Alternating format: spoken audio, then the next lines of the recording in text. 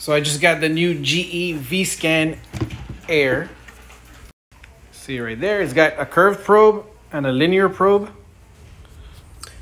So here we're scanning Taco, and on the image on the left, you can see I'm using the curve, but the images that I took, the ultrasound images, are with the linear probe because he's small. So there you can see the nice vasculature of the left kidney, beautiful. See all the vessels. That's the spleen right there next to the left kidney. You can see the nice cortical medullary differentiation of the kidney, the renal pyramids being hypoechoic and the cortex being hyperechoic. And this is a picture of the bowel. You can see the gut signature, which is the five layers of the bowel, which from inner to outer is mucosa, muscularis mucosa, submucosa, which is hyperechoic, muscularis propria, and serosa.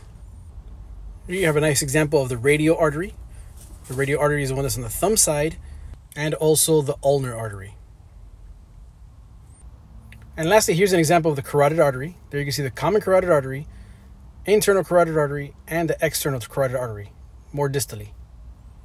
Now, throughout the week, I'm going to be doing uh, some tutorials and protocols with the, the Vscan, and I'll be sharing cases too, all right? So stay tuned. See one of the early branches of the, of the external carotid artery. That's color Doppler right there at the bulb.